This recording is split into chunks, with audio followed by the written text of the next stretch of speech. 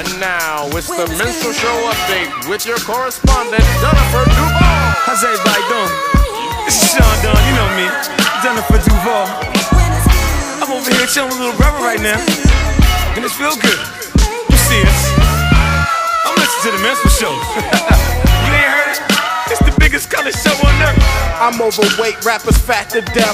Obese when these beats catch wind of my breath. And yes, you ain't heard, you still rocking with the best. I just say y'all from taking the guess. Not jeans, my dear. You ain't worthy to breathe my air. Stand tall in the pair I wear. Am I making it clear? I's the best to lay his head round here. And no, I'm not the heir pair to whoever. They never could out hit us. Fitters try to think fast, but never could outwit us. The only thing that they could ever do is outfit us. Uh. When clothes fit strange, I'm playing Rick James.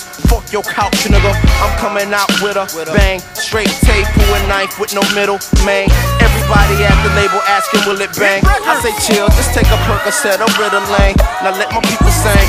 10 G's a show. Wildin' out with Pretty Tony and O. Now let me hear it. Come on, We make them wanna say it again, yeah. We make them wanna say it say again. it again. Beats from Mr. Doubtfit. Fresh jeans, fresh clothes, and outfits. Let me hear it.